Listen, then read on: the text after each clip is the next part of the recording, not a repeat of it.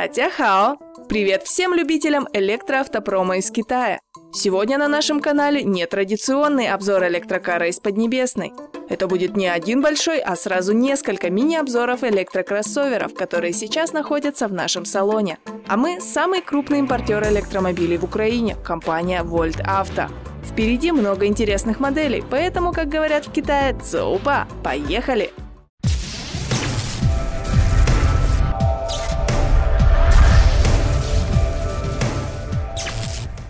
Для начала мы покажем вам все модели, которые на данный момент есть в салоне. Первым мы видим доступный электромобиль Dongfeng E1. За ним стоит Nissan из Китая, модель Sylphy EV. Синий – это у нас популярная электромодель JAC-S4. А следующий белый – это еще один японец из КНР, отлично сбалансированный по цене электрокроссовер Honda MNV Sport EV. А вот еще один белый и еще один электрокар от совместного предприятия. В этот раз Dongfeng и Peugeot и производимый в Поднебесной европеец модель i2008. Теперь пройдемся по другой стороне. Два первых авто – это снова, как у нас говорят, Jack S4. Это популярная модель в Украине. Далее перед нами компактный кроссовер Neta V. И завершает ряд крупный красный электрокроссовер от концерна SAIC или SAIC. Но модель с названием европейского бренда – это Maxus Ioniq 6. С него давайте и начнем нашу серию мини-обзоров. Знакомьтесь, электрический кроссовер Maxus Eonic 6. Maxus – это британская торговая марка, которая принадлежит вышеназванному концерну. Под этим брендом ранее производились фургоны в Бирмингеме. В 2008 компания обанкротилась, и с 2010 английский бренд входит в состав концерна Shanghai Automotive Industry Corporation, или же SAIC. Eonic 6 базируется на новой платформе Maxus Mera. Она разработана китайской компанией собственными силами. Модульная архитектура позволяет создавать как машины с ДВС, так и гибридные или, как в нашем случае, полностью электрические авто. Китайский концерн провел премьеру электрического кроссовера Maxus в конце апреля прошлого года. Модель Ioniq 6 – это добротный среднеразмерный кроссовер со следующими габаритами.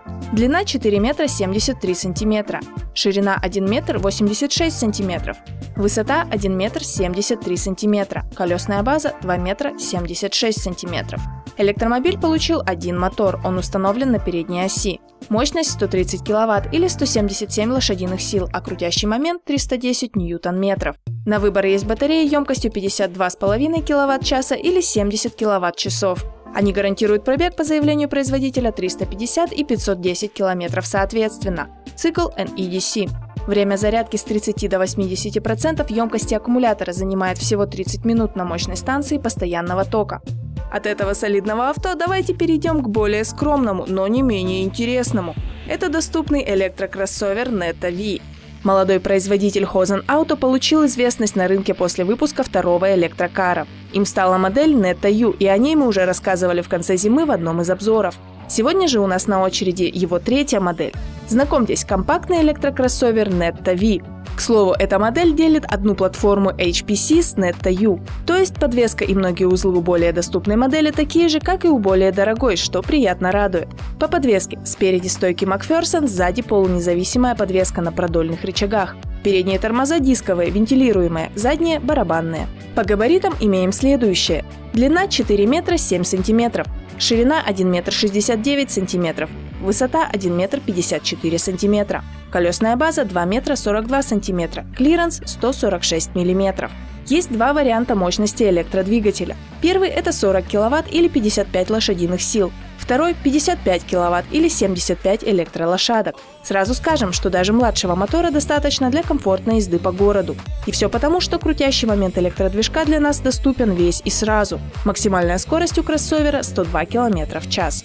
Для этого электромобиля обещан пробег 300 или 400 км. И все благодаря современному литий-ионному аккумулятору. К слову, в Китае производитель дает пожизненную гарантию на батарею, но только если вы являетесь первым владельцем авто. Хозен явно уверен в своей продукции. Если говорить о емкости батареи, то это 31,2 кВт-часа или 38,5 кВт-часа. Немного, но и электромобиль тоже небольшой. То есть 300 или 400 километров, как заявляет производитель, кроссовер действительно может проехать на одном заряде. Но, конечно, эта цифра получается только при условии, что скорость постоянная и не выше 60 км в час. У этого электромобиля из Китая также есть одна фишка в салоне. Сидя за рулем впервые, не сразу понимаешь, чего не хватает. А не хватает приборной панели в классическом понимании. То есть за верхней частью обода руля нет ни аналоговых, ни цифровых приборов. Вся информация о скорости или режиме движения отображается на вытянутом экране перед лобовым стеклом. Решение очень интересное, как и весь электромобиль. А следующий электромобиль уже стал очень популярным у себя на родине. И все благодаря доступности цены и техническим характеристикам, которые предлагает производитель. Если вы хотели увидеть настоящий народный доступный электромобиль, то герой этого обзора именно то, что вам нужно. Компактный кроссовер Tongfa E1 пришел на смену популярной китайской модели Renault KZE. Электрокар с шильдиком Renault в первую очередь выделялся на рынке своей доступностью. В случае с Dongfa E1 вы за эти же деньги получаете еще больше. Более дешевыми могут быть только электросити-кары типа Wuling Mini EV или Ling Bao Coco. Однако они не могут идти ни в какое сравнение вот с таким компактным электрическим кроссовером. У электромобиля один электромотор на передней оси, его мощность 33 кВт или 44 лошадиных силы. Понятно, что это не слишком высокий показатель, но такой мощности для городского авто вполне достаточно. С таким движком электрокроссовер показывает максимальную скорость 105 км в час, а разгон до 50 км в час занимает 6 секунд.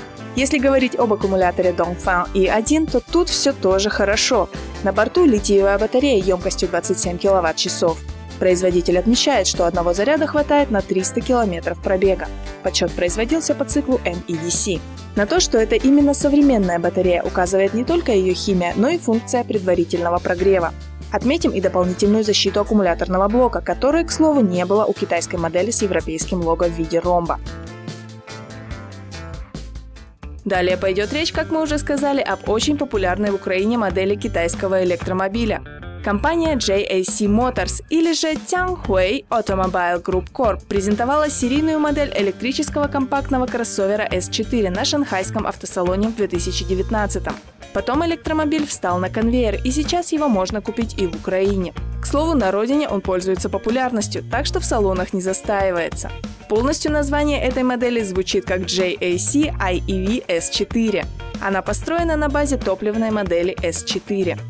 Конечно, так как это электрический кроссовер, то нет надобности в традиционной решетке радиатора. Поэтому в передней части автомобиля ее заменила шестиугольная пластина.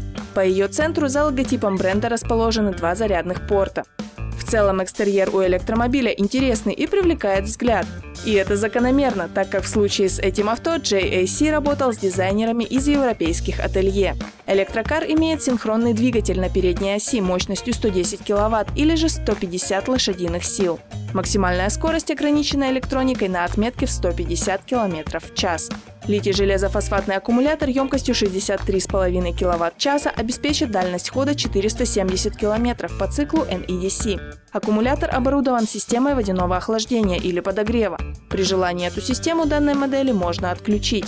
В салоне еще стоит отметить люк с электроприводом. Также электроприводом оборудованы и сиденья первого ряда. Кресла мягкие и с комфортной боковой поддержкой. Для задних пассажиров места предостаточно. Продолжим наш сюжет рассказом о японской электромодели, которая производится в Китае. Электрический кроссовер MNV Sport EV – это результат работы совместного предприятия Dongfeng и Honda. Эта модель еще новичок на рынке, так как она встала на конвейер в Китае только в ноябре прошлого года. В Поднебесной эта электромодель продается под давно известным брендом Smingchi. Эта марка принадлежит концерну Dongfeng, поэтому на капоте модели нет логотипа Honda, несмотря на то, что предприятие совместное. Впрочем, главное то, что электромобиль получился хорошо сбалансированным по дизайну, тех характеристикам и цене. Привод у электрокроссовера передний. На оси установлен движок мощностью 120 кВт или 163 лошадиных силы. Его достаточно как для ежедневной езды по городу, так и для поездок между городами. Крутящий момент электромотора 280 ньютон-метров, максимальная скорость приятная 140 км в час. До 50 км в час электрокар разгоняется за 4 секунды. С батареей у электромобиля тоже все хорошо. Ее емкость 61,3 кВт-часа. Потребление 13,7 кВт на 100 км пробега. Honda утверждает, что модель может проехать 480 км на одном заряде, а наполнить батарею под завязку от бытовой сети вы сможете за 9 часов. В Китае производитель дает гарантию на аккумулятор 8 лет или 160 тысяч километров пробега. Понятно, что это не актуально для других стран, но дает понимание о том, что производитель уверен в своем электроавто. Находясь в салоне, сразу же понимаешь, что эта модель не просто так имеет в своем названии слово Honda. Все материалы отделки на уровне хорошего японского авто, все подогнано и собрано идеально. Некий дизайнерский стиль также присутствует. В салоне сразу же обращает на себя внимание панорамная крыша. Она небольшая, но если она есть у электромобиля из Китая, то значит авто имеет статус выше среднего. И последний электрокроссовер нашего выпуска также родом из другой страны, но производится в Поднебесной. Перед вами электрический француз из Китая. Это кроссовер Dongfeng Peugeot i2008. Как понятно из названия модели, его выпускает и продает в КНР совместное предприятие Dongfeng Peugeot Citroën Automobile. Сразу хотим обратить ваше внимание на логотип в виде спереди. Он дихроичный, это означает, что он поглощает и отражает разные части спектра светового потока. А если говорить просто, то он меняет цвет при взгляде под разными углами. Электрический внедорожник построен на последней разработке французов – платформе Common Modular Platform. Кроссовер получил один электродвигатель на переднюю ось. Его мощность 120 кВт или 163 лошадиных силы. Крутящий момент 260 ньютон-метров. Разгон с нуля до 100 км в час – 9 секунд. Максимальная скорость приличная 150 км в час. Следует сказать, что эта модель электромотора хорошо себе зарекомендовала и устанавливается сейчас на большинстве как легковых, так и грузовых моделей у французов. В авто стоит трехкомпонентная литиевая батарея общей емкостью 50 кВт-часов. Рабочая же емкость, как отмечает производитель, это 45,2 кВт-часа. На одном заряде электрокроссовер проедет 360 км. Расчет производился по циклу NEDC. Батарею можно зарядить на 100% от бытовой сети за 5 часов с помощью бытового настенного зарядного устройства мощностью 11 кВт, то есть от сети переменного тока. На станции постоянного тока вы получите 80% емкости батареи всего за 30 минут. Благодаря жидкостному охлаждению у аккумулятора этой модели не будет проблем с перегревом. Внимательные зрители спросят, а как же Nissan Sylphy EV? Нет, мы не забыли про эту модель. Но о ней мы как раз готовим подробный большой обзор для нашей большой коллекции электромобилей из Китая. К слову, с гордостью скажем, что именно у нас самая обширная коллекция обзоров китайских электромобилей. На данный момент их у нас уже 49. И именно в нашей коллекции вы найдете детальные обзоры на все электромобили, которые вы видели в сегодняшнем сюжете. Понравился один из сегодняшних электрокаров? Вы можете его купить прямиком из Поднебесной у нас, самого крупного украинского импортера электромобилей из Китая, компании Volt Auto. Если появилось желание узнать актуальную цену на любое авто, то напишите нам в удобных для вас соцсетях или же на нашем сайте. Мы обязательно перезвоним вам и ответим на все вопросы. А если хотите детально рассмотреть представленные сегодня электромобили, тогда приглашаем вас в автосалон Volt Auto. Наш адрес – город Киев, улица Бориспольская, 26D. А на этом у нас на сегодня все. До встречи на нашем канале в еженедельном новостном дайджесте, как всегда, по вторникам. Зайден!